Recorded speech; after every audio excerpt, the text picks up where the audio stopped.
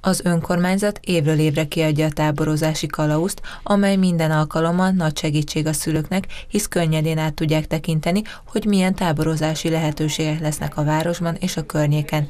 Éppen ezért elsősorban nekik készül a kiadvány, hogy előre meg tudják tervezni a nyári szünet idejére a gyermekeik programját.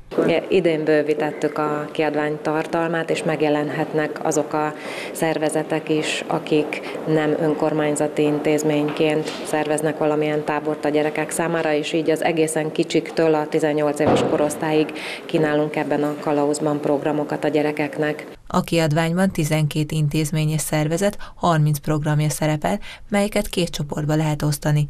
Vannak a kedvezményes táborok, amik a tanév végét követően minden általános iskolában megszerveznek, ezeket napközis tábornak nevezik. Az önkormányzat támogatja őket, így ott csak az étkezést kell a szülőknek fizetni. Ezek között van életmód, kézműves, sport és nyelvi tábor is.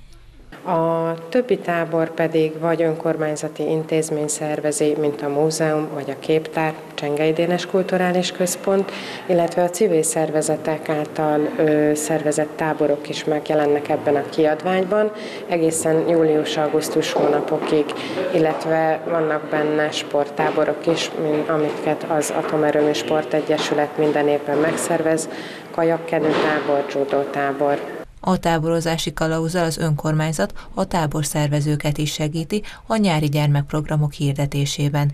A kiadványt eljutatták a város összes általános iskolájába, de beszerezhető a kulturális központban és a Városháza portáján is.